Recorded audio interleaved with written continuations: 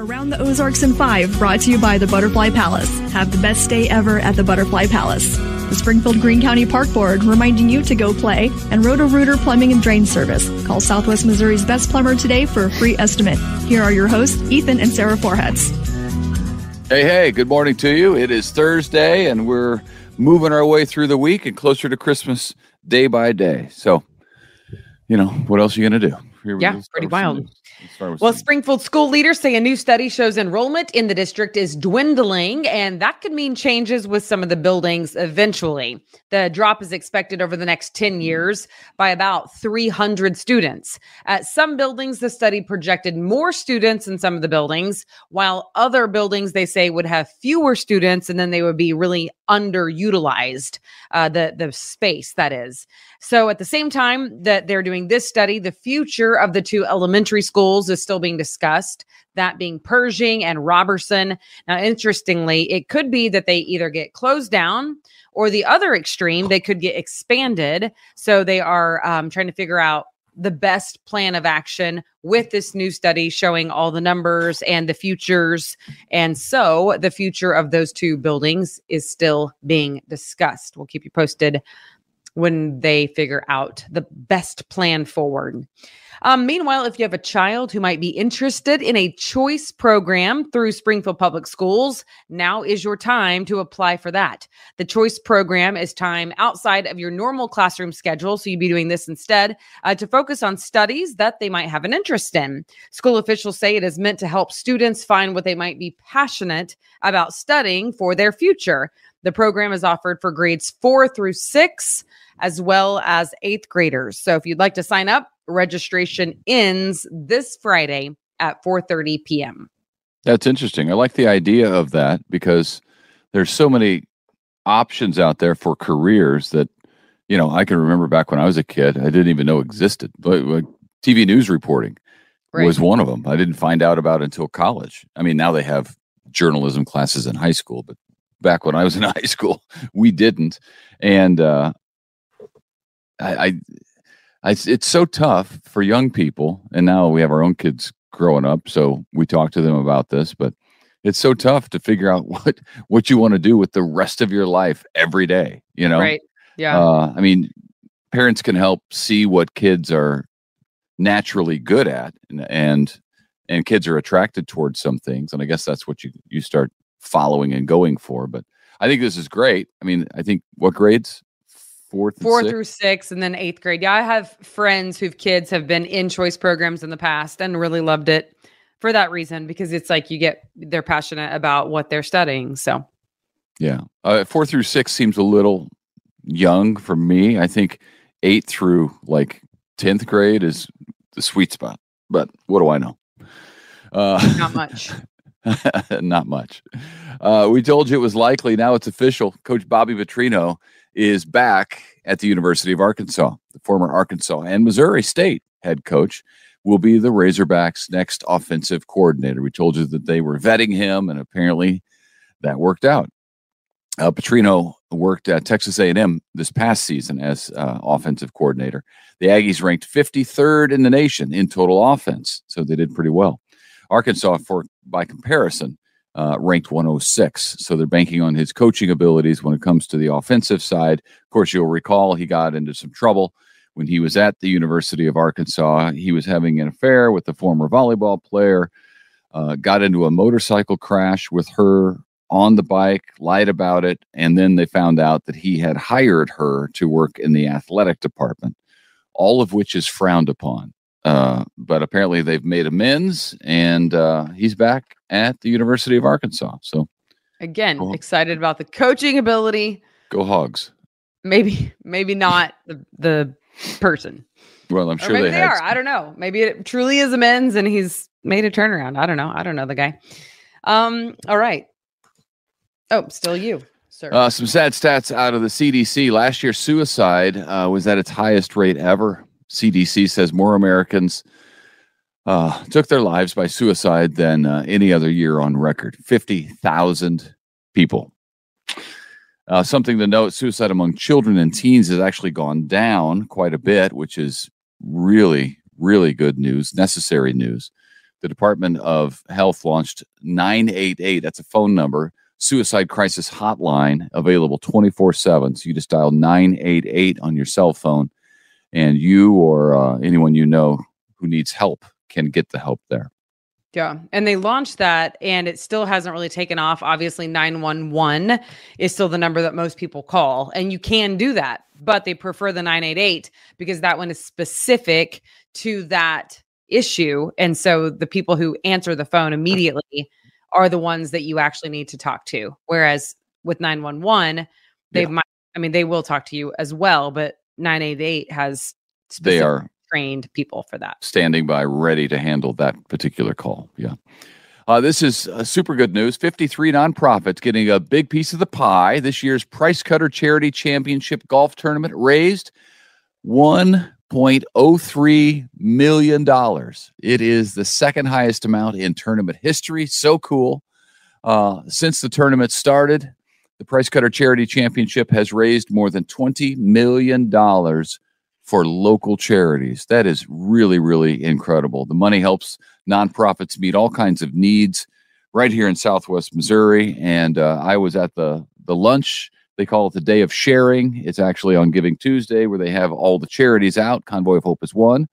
Uh, we're proud to be part of that. And uh, so I got to go to the lunch, and uh, they have the presentation where they award the the checks to all the charities, and some of the charities get to talk about what they do, and it's it's just a really really great day. It's a great tradition in the Ozarks, and the really the Price Cutter Charity Championship is a is a jewel in the Ozarks. It, it's and, and when it comes to the the PGA, it is one of uh, their best attended and highest uh, fundraising event that they have when it comes to these charity events. So it's yeah, very very that's good. really cool.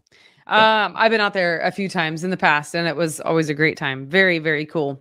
Um, okay, if you like a real Christmas tree in your home, now's the time. Growers say that there are fewer growers.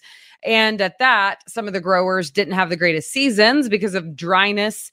Uh, so they might have fewer trees. So the moral of the story is if you want a live tree and you have not yet gotten one, the sooner the better.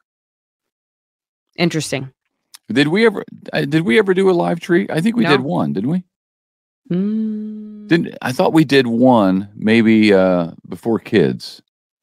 I don't know. I don't did remember do ever that? doing it, but I think I love the idea. I'm like, oh, let's go chop down a tree. That sounds very Griswold, and I kind of love it, but, but not really.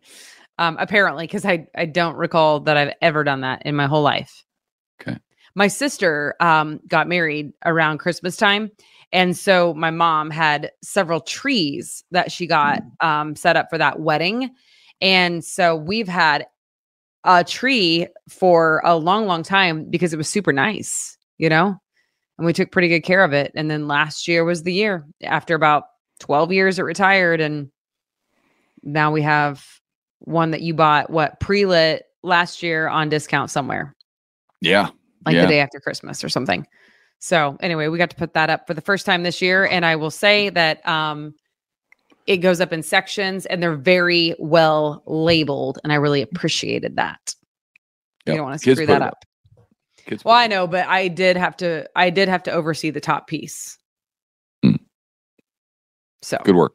Good since work. I'm so tall and everything. Um, all right. Who are you listening to on Spotify? There's a good chance that it is Taylor Swift. She has grabbed the top artist spot of 2023.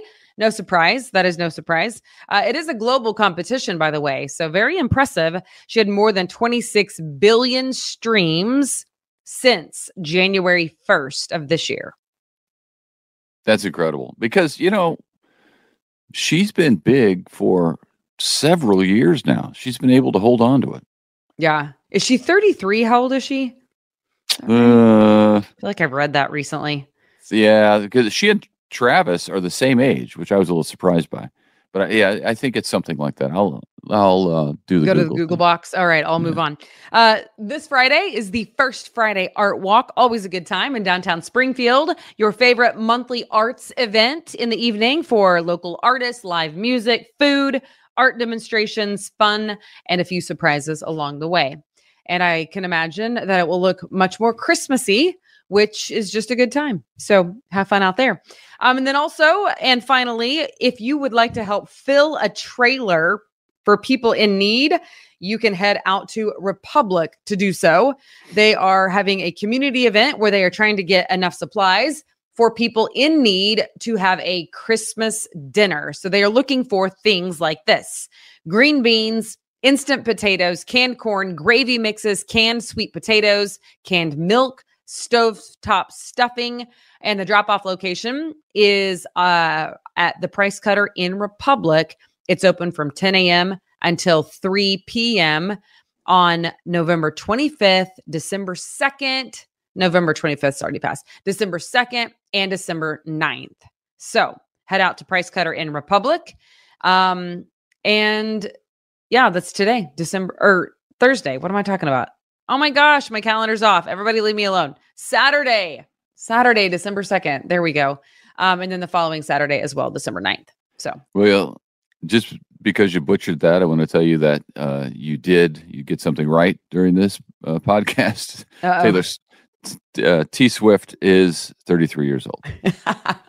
Thank you. Thank you. I totally redeemed myself. Um, Which is shocking to me because uh, don't you remember when she was a kid?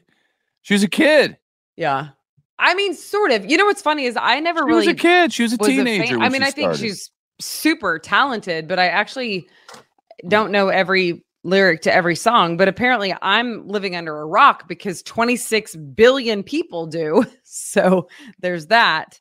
Um, but that's not surprising to me. I listen to a lot more um like podcasts, like messages, uh books, audiobooks than I do music.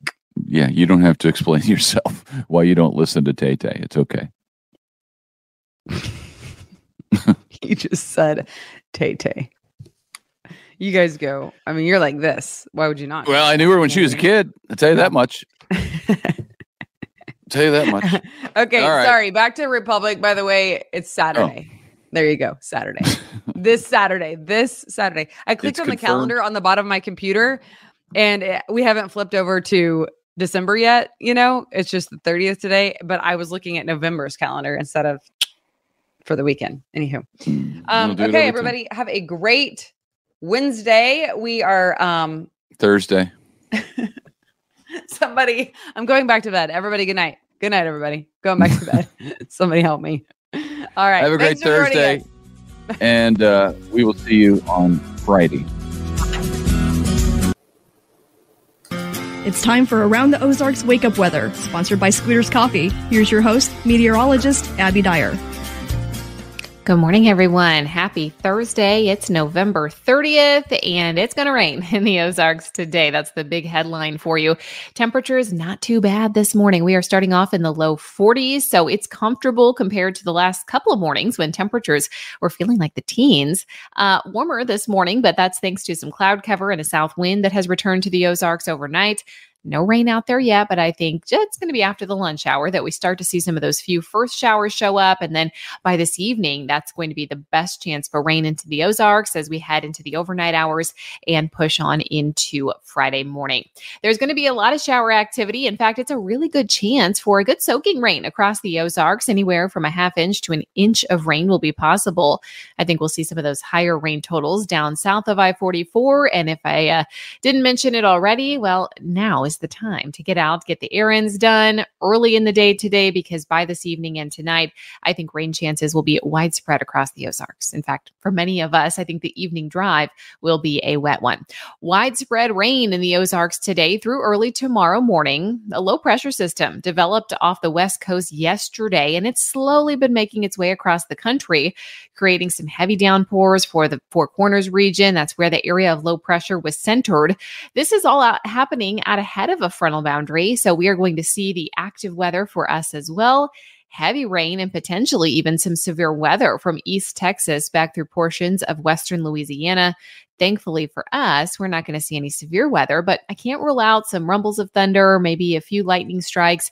Again, no severe weather expected for us, though, which is nice. For the Ozarks, it's just this slow, steady rain that lasts through much of the evening, overnight tonight, and then probably tapers off early in the day on Friday. I'm thinking mid morning, we're done with the rain chances cloud cover will linger and it's going to be a pretty good shot at seeing some heavy downpours.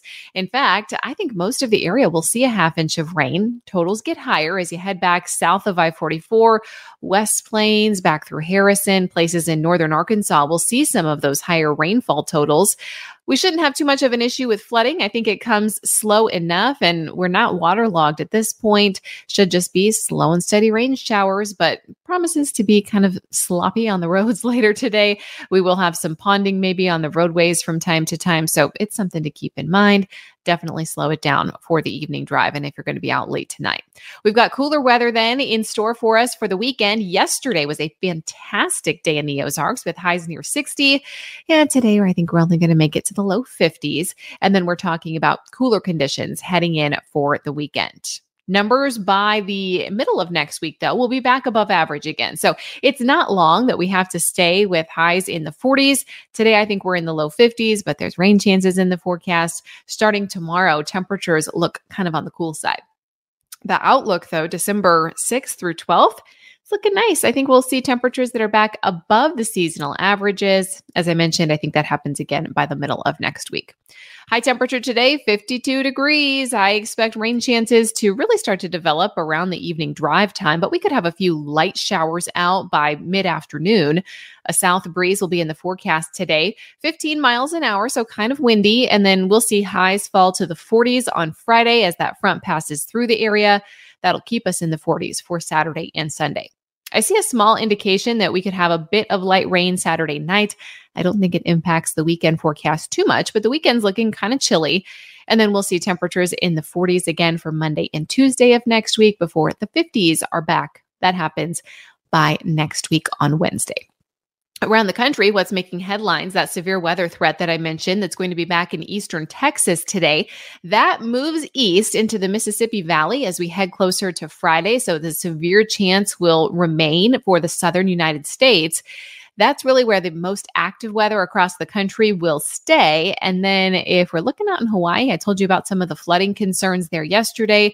This storm system over Kona still causing some problems, and excessive rainfall is possible for the Hawaiian Islands as we head through Thursday and Friday as well. All right, it is time for the Around the Ozarks Wake Up Weather Brain Twister question for you. This is sponsored by Scooters Coffee. If you uh, entered yesterday, I'm going to have the answer to yesterday's brain twister trivia question. And it was What was the first song played on Mars? Yes, the planet Mars. Do you think it was A, Twinkle, Twinkle, Little Star? B, Happy Birthday? C, What a Wonderful World? Or D, Across the Universe? All of those would be pretty fitting for a first song played on a new planet. Uh, and if you Googled this one, if you broke the rules and Googled, you probably came up, or what came up was probably the wrong answer. Um, it was actually in 2008. The answer is Across the Universe. D, Across the Universe by the Beatles.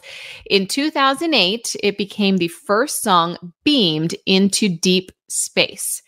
Um, the song that came up when you googled was titled reach for the stars which was actually not an option on my on my list here. But reach for the stars actually holds the guinness world record book for being the first music broadcast from space. Uh, but it actually did not play on mars because curiosity uh, the rover up there did not have speakers. So kind of a little catch there. Uh, if you Googled this, though, you probably read that Reach for the Stars by Will I Am was the first music ever broadcast in space. Not true for the planet Mars. It was 2008 Across the Universe by the Beatles. That was the first song to be beamed into deep space. So, D, the answer from yesterday. Congrats to everybody uh, that answered that correctly. All right, I've got tomorrow's question for you. Who is credited with helping make mac and cheese popular in the United States? Do you think it is A, Winston Churchill, B, Nikola Tesla, C, Marie Curie, or D, Thomas, Jefferson. I should have included a fifth option here, which would be E, toddlers everywhere, but that's not on the list today. So uh, log on, let me know what you think is the correct answer, and I'll have the answer early tomorrow morning. That's what's happening on Around the Ozarks Wake Up Weather.